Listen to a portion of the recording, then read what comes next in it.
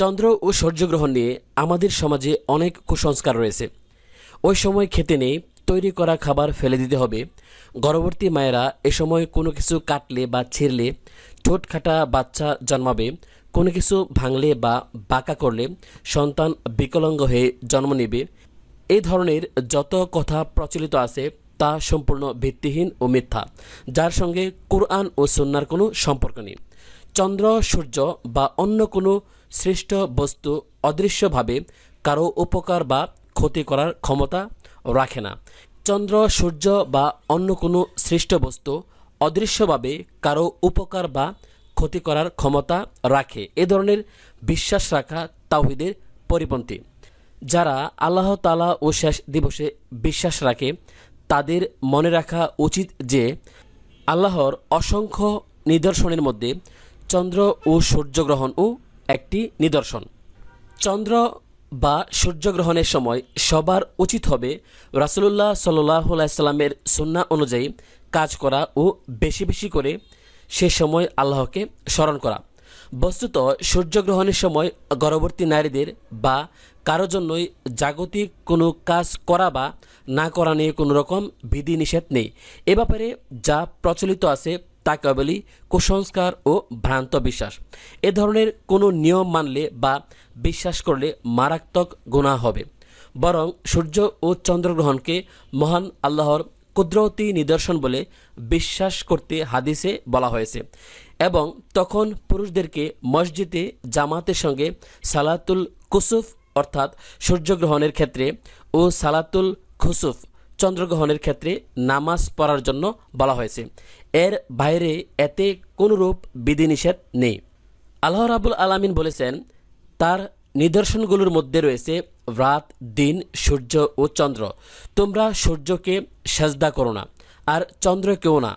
আল্লাহকে সেজদা করো, যিনি এগুলো সৃষ্টি করেছেন। যদি তোমরা নিষ্ঠার সঙ্গে শুধু তারই ইবাদত করে থাকো। জাহেলি যুগে মানুষ ধারণা করত যে, বিশ্বে কোনো মহাপুরুষের জন্ম বা মৃত্যু কিংবা দুর্যোগ, দুর্ভিক্ষ প্রবৃত্তির বার্তা দিতে সূর্য বা চন্দ্রগ্রহণ হয়ে থাকে।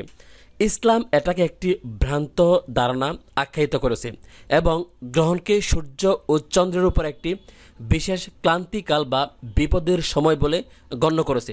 এজন্যে সূর্য বা চন্দ্রগ্রহণের সময় মমিনদের নির্দেশ দেওয়া হয়েছে, তারা যেন এই সময়ে অন্যান্য কাজকর্ম বন্ধ রেখে আল্লাহর তাসবি পাঠ, দোয়া, সালাত, আদায় প্রবৃত্তি আমল করে থাকে। মুগিরা ইবনে সুবা রাদিয়াল্লাহু আনহু থেকে বর্ণিত, তিনি বলেছেন যে রাসুলুল্লাহ সাল্লাহ সাল্লামের পুত্র ইব্রাহিমের মৃত্যুর দিনটিতেই সূর্যগ্রহণ হলো। তখন আমরা সবাই বলা বলি করেছিলাম যে নবীপুত্রের মৃত্যুর কারণেই এমনটা ঘটেছে।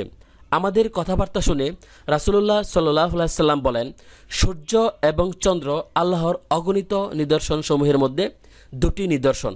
কারোর মৃত্যুর কিংবা জন্মগ্রহণের ফলে চন্দ্রগ্রহণ বা সূর্যগ্রহণ হয় না। বুখারি এক হাজার তেতাল্লিশ, মুসলিম নয়শো পনেরো। আরবি সংস্করণ।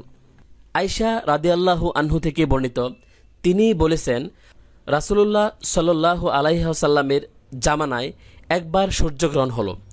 গ্রহণ শুরু হবার সঙ্গে সঙ্গে রাসুল্লাহ সাল্লাহ আলহাম দ্রুত মসজিদের দিকে ধাবিত হলেন এবং সবাইকে মসজিদে আসতে আহ্বান জানালেন। তিনি নামাজে দাঁড়ালেন এবং এত দীর্ঘ করলেন যে এই জামাতে আগে কখনো এমন করেনি। এতপর রুকুতে গেলেন এবং রুকু এত দীর্ঘ করলেন যে যা আগে কখনো করেননি।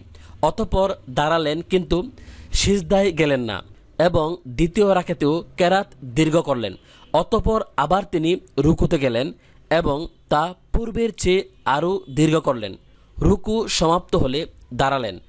এরপর সিজদায় গেলেন এবং তা এত দীর্ঘ করলেন যে আগে কখনো এমনটা করেননি। এতপর সিজদা থেকে দাঁড়িয়ে প্রথম দু রাকাতের ন্যায় দ্বিতীয়বারও ঠিক একইভাবে নামাজ আদায় করলেন। এতক্ষণে সূর্যগ্রহণ শেষ হয়ে গিয়েছে। নামাজ সমাপ্ত হলে তিনি আল্লাহর হামদ, অর্থাৎ আল্লাহর প্রশংসা পেশ করে খুদ্া প্রদান করলেন। বললেন, সূর্য এবং চন্দ্র আল্লাহর অগণিত নিদর্শন সমূহের মধ্যে দুটো নিদর্শন। কারোর মৃত্যু কিংবা জন্মগ্রহণের ফলে চন্দ্রগ্রহণ বা সূর্যগ্রহণ হয় না। অতএব, যখনই তোমরা চন্দ্রগ্রহণ বা সূর্যগ্রহণ প্রত্যক্ষ করবে, তখনই আল্লাহকে ডাকবে। তার বরত্ব ও মহত্ব প্রকাশ করবে এবং নামাজে রত হবে। বুখারি এক হাজার চল্লিশ, মুসলিম নয়শো এক, আরবি সংস্করণ। সূর্য বা চন্দ্রগ্রহণ দ্বারা আল্লাহ তালা বান্দাদের বৃত্তি প্রদর্শন করেন বলেও হাদিসে উল্লেখ আছে, যাতে মানুষ ইমান ও আমলমুখী হয় এবং পাপাচার বন্ধ করে। হাদিসে বর্ণিত রয়েছে যে একদা সূর্যগ্রহণ হলে রাসুল্লাহ সাল্লাহ সাল্লাম ভীত হয়ে মসজিদে প্রবেশ করেন। দীর্ঘ সালাত আদায় করলেন। দীর্ঘ সালাত আদায় করে বললেন, এ হচ্ছে একটি নিদর্শন যা আল্লাহ প্রেরণ করেন। এটা কারও মৃত্যু কিংবা জন্মের জন্য সংগঠিত হয় না, বরং এর দ্বারা আল্লাহ তার বান্দাদের ভীতি প্রদর্শন করেন।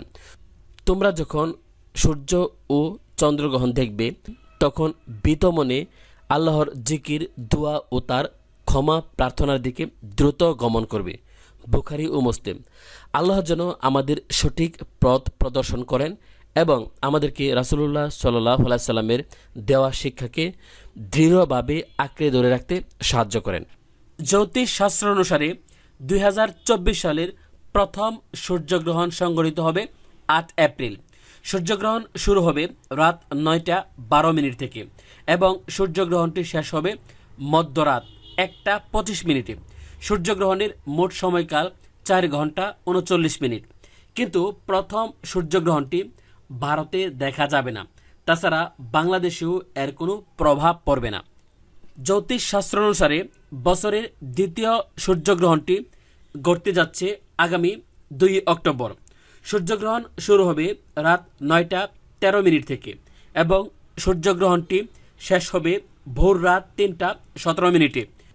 সূর্যগ্রহণের মোট সময়কাল ছয় ঘণ্টা চার মিনিট। কিন্তু দ্বিতীয় সূর্যগ্রহণটিও ভারতে দেখা যাচ্ছে না।